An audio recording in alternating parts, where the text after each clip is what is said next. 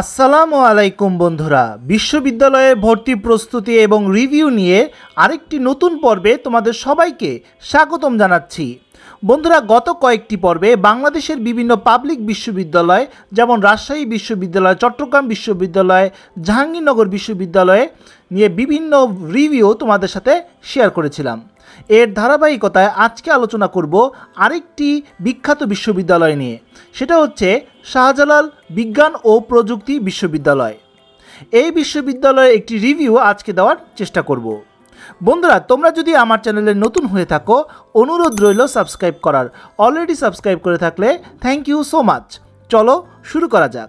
এই ভিডিওর মাধ্যমে তুমি জানতে পারবে শাহজালাল বিশ্ববিদ্যালয়ের ইউনিট বিষয় এবং আসন সংখ্যা, জানতে পারবে ইউনিট ভিত্তিক আবেদন করার যোগ্যতা, পরীক্ষার মান বন্টন ও পদ্ধতি, ইউনিট অনুযায়ী ভর্তি হওয়ার শর্ত। যদিও এখনও পর্যন্ত শাহজালাল প্রযুক্তি বিশ্ববিদ্যালয়ে ভর্তি পরীক্ষাটি কেমন হবে, সেটা এখনও ডিক্লেয়ার করেনি তথাপি গত বছরের নিয়মগুলো যদি আগে থেকে জানা থাকে বা এই বিষয়ে তোমার যদি একটি ধারণা থাকে, তাহলে তোমার পরীক্ষার প্রস্তুতি নিতে অনেক সুবিধা হবে। ইউনিট বিষয়, আসন সংখ্যা। সাস্ট অর্থাৎ শাহজালাল প্রযুক্তি বিশ্ববিদ্যালয়, গত বছর তিনটি ইউনিটের মাধ্যমে ভর্তি পরীক্ষা নিয়েছিল। এবারও হয়তো সেটাই থাকবে। A unit B one unit এবং বি টু ইউনিট। সাস্ট বিশ্ববিদ্যালয়ে সকল ইউনিটে বিজ্ঞানের শিক্ষার্থীরা আবেদন করতে পারে। অন্যদিকে, এই ইউনিটে বাণিজ্য ও মানবিক শাখার শিক্ষার্থীরা আবেদন করতে পারে। ইউনিট বিষয় এবং আসন সংখ্যা, এ ইউনিট। এই ইউনিটে অর্থনীতি, সমাজবিজ্ঞান, লোক প্রশাসন নৃবিজ্ঞান সমাজকর্ম, ব্যবসায় প্রশাসন, ইংরেজি, বাংলার মতো বিষয় রয়েছে। মোট নয়টি বিষয়ে ছয়শো তেরোটি আসন রয়েছে। এখানে সকল বিভাগে শিক্ষার্থীরা আবেদন করতে পারে। B one unit. এখানে পদার্থ, রসায়ন, গণিত, পরিসংখ্যান CSE triple E chemical engineering, সমুদ্রবিজ্ঞান, ভূগোল ফরেস্ট্রির মতো সাবজেক্ট রয়েছে। সর্বমোট এখানে আঠারোটি বিষয় এবং নয়শো ষাটটি আসন রয়েছে। এখানে শুধু বিজ্ঞানের বিভাগের শিক্ষার্থীরা আবেদন করতে পারে। B two unit. এটা আর্কিটেকচার রিলেটেড সাবজেক্ট এখানে রয়েছে। এখানে মোট তিরিশটি আসন রয়েছে। এখানে শুধু বিজ্ঞান বিভাগের শিক্ষার্থীরা আবেদন করতে পারে। মোট আসন সংখ্যা এই বিশ্ববিদ্যালয়ে নয়শো নব্বইটি। বিস্তারিত নোটিশ আমার ফেসবুক গ্রুপে আমি দিয়ে দিব, সেখান থেকে বিস্তারিত জেনে নিতে পারবে। আর এখানে সব সাবজেক্ট উল্লেখ করলে ভিডিওটি আরও বড় হয়ে যেত। ফেসবুক গ্রুপের লিঙ্ক অ্যাড্রেসটি ডেসক্রিপশন বক্সে দেওয়া আছে।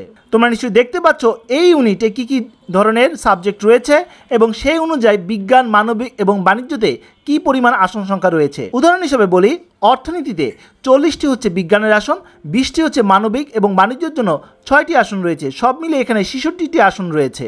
আশা করি বুঝাতে পেরেছি। তোমরা নিশ্চয়ই দেখতে পাচ্ছ, এটা হচ্ছে বি ইউনিটের বি ওয়ান এবং বি টু ইউনিটের বিভিন্ন বিষয় এবং আসন সংখ্যা। ভিডিওটি পজ করে বিস্তারিত দেখে নিতে পারো। আবেদনের ন্যূনতম যোগ্যতা। সাস্ট বিশ্ববিদ্যালয়ে ইউনিট ভিত্তিক আবেদন করার ভিন্নতা থাকলেও একটা কমন যোগ্যতার প্রয়োজন হয়। গত শিক্ষাবর্ষে এসএসসি দুই হাজার ষোলো এবং সতেরো ছিল এবং এইচএসসি দুই হাজার আঠারো এবং উনিশ ছিল। যেটা এবার পরিবর্তন হয়ে এসএসসি দুই হাজার সতেরো, আঠারো হতে পারে এবং এইচএসসি দুই হাজার উনিশ, বিশ হতে পারে। তার মানে তোমরা নিশ্চয়ই বুঝতে পারছ, এই বিশ্ববিদ্যালয়ে সেকেন্ড টাইম আছে। তবে এবার যদি কোনো নিয়মের পরিবর্তন আসে, অবশ্যই আমি তোমাদেরকে জানিয়ে দিব, ইনশাআল্লাহ। সব বিভাগের বিষয়ভিত্তিক ভিন্নতা থাকলেও মোট চল্লিশে পাস মার্ক হিসাবে ধরা হয়। ইউনিট ভিত্তিক আবেদন করার যোগ্যতা। তোমরা নিশ্চয়ই দেখতে পাচ্ছ, এই ইউনিটে সায়েন্স, আর্টস, বিজনেস সকল শিক্ষার্থীরা আবেদন করতে পারে। এসএসসি এবং এইচএসসিতে আলাদাভাবে থ্রি পয়েন্ট জিরো পেতে হবে, কিন্তু মোট সিক্স পয়েন্ট ফাইভ জিরো পেতে হবে। অন্যদিকে বি ইউনিট বি ওয়ান এবং বি টু ইউনিটে বিজ্ঞান বিভাগের শিক্ষার্থীরা আবেদন করতে পারে। থ্রি পয়েন্ট ফাইভ জিরো করে এসসি এবং এইচএসসিতে আলাদা করে পেতে হবে, সব মিলিয়ে সেভেন পেতে হবে। এইচএসসিতে অবশ্যই ম্যাথ থাকতে হবে, যারা সায়েন্সের শিক্ষার্থীদের কথা বলছি। থ্রি পয়েন্ট ফাইভ জিরো সেখানে পেতে হবে। সায়েন্সের শিক্ষার্থীতে এ এবং বি ইউনিট সব ইউনিটে আবেদন করতে পারবে, যেটা আগেও বলেছি। বি ওয়ান এবং বি টু ইউনিটে যে কোনো একটিতে বিজ্ঞানের শিক্ষার্থীরা আবেদন করতে পারবে। বি ওয়ান এবং বি টুতে দুটি ইউনিটে আবেদন করা যাবে না। অতিরিক্ত একশোটি আসন রয়েছে যা সংরক্ষিত। পরীক্ষার মানবন্টন ও পদ্ধতি। মোট একশো নম্বরের ভিত্তিতে যাচাই করা হয়েছিল। তার মধ্যে ভর্তি পরীক্ষায় সত্তর নম্বর এমসিকিউ, প্রতিটি প্রশ্নের নাম্বার হচ্ছে এক, সত্তর নম্বরে পরীক্ষা হয়। সময় দিবে এক ঘণ্টা তিরিশ মিনিট, এ ইউনিট এবং বি ওয়ান ইউনিটের জন্য। অন্যদিকে দুই ঘণ্টা তিরিশ মিনিট দিবে বি টু ইউনিটের জন্য, কারণ সেখানে আর্কিটেকচার ডিপার্টমেন্ট রয়েছে এবং সেখানে ড্রয়িংয়ের জন্য সময় লাগে। এসএসসি এবং এইচএসসি জিপে এর উপর তিরিশ নাম্বার ধরা হয়েছিল এবছর হয়তোবা সেটা পরিবর্তন আসতে পারে। যারা রেগুলার শিক্ষার্থী, অর্থাৎ যে বছর ভর্তি পরীক্ষা হয় সেই বছরে যারা এইচএসসি পাস করে, তারা এসএসসি জিপিএকে দুই এবং এইচএসসি জিপিএকে চার দিয়ে গুণ করে মোট তিরিশ নম্বরের উপর তাকে গণনা করা হয়। অন্যদিকে অনিয়মিত শিক্ষার্থী যারা যে বছর ভর্তি পরীক্ষা হয়, তার আগের কোনো বছরে তারা পাশ করেছে, তাদের জন্য এসএসসি ওয়ান পয়েন্ট এইট এবং এইচএসসি থ্রি পয়েন্ট সিক্স দিয়ে গুণ করা হয়। বিষয়ভিত্তিক আলাদা আলাদা পাস নেই, তবে মোট একশো নাম্বার অর্থাৎ সত্তর নাম্বার এমসিকিউ তিরিশ নাম্বার এসসি এবং এইচএসির জিপিএ সব মিলিয়ে এই একশো নম্বরের মধ্যে চল্লিশে পাস ধরা হয়। নেগেটিভ মার্কিং রয়েছে। প্রতিটি ভুল উত্তরের জন্য শূন্য দশমিক দুই শূন্য কাটা যাবে। এবার আসি পরীক্ষার মান বন্টন ও পদ্ধতি। এ ইউনিট এই ইউনিটে বিজ্ঞানের জন্য সত্তর মার্কসের মধ্যে ইংরেজি বিশ বাংলা পদার্থ, রসায়ন, গণিত, জীববিজ্ঞান এবং সাধারণ জ্ঞানে দশ নম্বর করে প্রশ্ন আসবে। অন্যদিকে যারা বাণিজ্য বিভাগের শিক্ষার্থী এই ইউনিটে ভর্তি পরীক্ষা দিতে যাচ্ছ, তাদের জন্য সত্তর নাম্বার। তবে ইংরেজিতে বিশ বাংলায় দশ হিসাব বিজ্ঞান ব্যবসায় সংগঠন, সাধারণ জ্ঞান থেকে তিরিশ এবং গণিত থেকে যেটা এসএসসি লেভেলের, সেখান থেকে দশ নম্বরের প্রশ্ন আসবে। মানবিক বিভাগের শিক্ষার্থী যারা এই ইউনিটে আবেদন করবে, তাদের জন্য সত্তর নাম্বার, তবে বাংলায় বিশ, ইংরেজিতে দশ, মানবিকের বিষয় থেকে তিরিশ, গণিত যেটা এসএসসি লেভেলের, সেখান থেকে দশ নম্বরের প্রশ্ন আসবে। বি ইউনিট, এর মধ্যে বি ওয়ান ইউনিটে ইংরেজি দশ, পদার্থ বিশ, রসায়ন বিশ এবং গণিত থেকে বিশ নম্বরের প্রশ্ন আসবে। বি টু ইউনিটে ইংরেজিতে দশ, পদার্থ, রসায়ন, গণিতে বিশ নম্বর করে প্রশ্ন আসবে এবং ড্রয়িংয়ে তিরিশ নম্বরের প্রশ্ন আসবে। বিভিন্ন বিষয়ে পড়ার জন্য আলাদা আলাদা মার্ক পেতে হয়। সেটার বিস্তারিত তালিকা আমার ফেসবুক গ্রুপে দেওয়া থাকবে। শিক্ষার্থী যাচাই পদ্ধতি। এই ইউনিটের বিজ্ঞান, মানবিক ও বাণিজ্য শাখা এবং বি ইউনিটের গ্রুপ ওয়ান গ্রুপ টু অর্থাৎ B one unit B two ইউনিটের জন্য ভিন্ন ভিন্ন মেধা তালিকা তৈরি করা হবে। মেধা তালিকার মোট নাম্বারের মধ্যে সত্তর পার্সেন্ট নম্বর আসবে ভর্তি পরীক্ষা থেকে এবং তিরিশ নাম্বার আসবে এসএসসি বা এইচএসসির পরীক্ষার ফলাফল থেকে।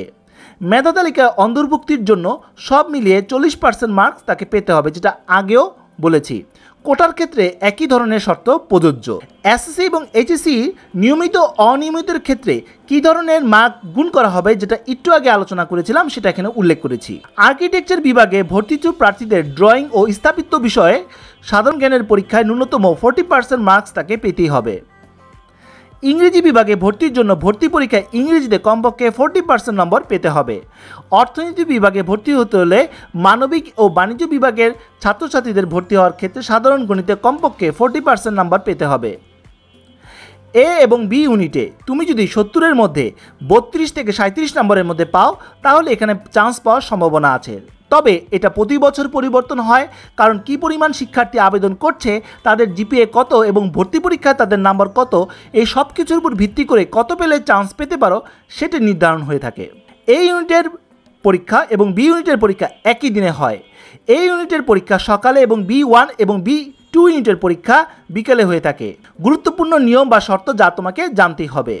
ভর্তি পরীক্ষায় ক্যালকুলেটর ব্যবহার করা যাবে, তবে কিছু বিশেষ মডেল তোমরা নিশ্চয়ই স্ক্রিনে দেখতে পাচ্ছ বিভিন্ন কোম্পানির ক্যালকুলেটরের মডেলের নাম্বার দেওয়া আছে। এগুলো স্ক্রিনটি পজ করে তুমি দেখে নিতে পারো। ভর্তিতে বিশেষ কোঠা রয়েছে, যেমন মুক্তিযোদ্ধা, ওয়ার্ড, উপজাতি, বিভিন্ন কোঠা রয়েছে। এই নিয়ে বিস্তারিত তথ্য আমার ফেসবুক গ্রুপে পেয়ে যাবে। তো বন্ধুরা, আজ এই পর্যন্তই। আজকে আমরা জানতে পারলাম শাহজালাল বিজ্ঞান ও প্রযুক্তি বিশ্ববিদ্যালয়ের বিস্তারিত রিভিউ বন্ধুরা, বিজ্ঞপ্তি প্রকাশ হওয়ার সাথে সাথে আরও তথ্য নিয়ে তোমাদের সামনে হাজির হব। তো বন্ধুরা, আজ এ পর্যন্তই। সবাই ভালো থাকো, সুস্থ থাকো। দেখা হবে আগামী কোনো ভিডিওতে। সে পর্যন্ত আল্লাহ হাফিজ।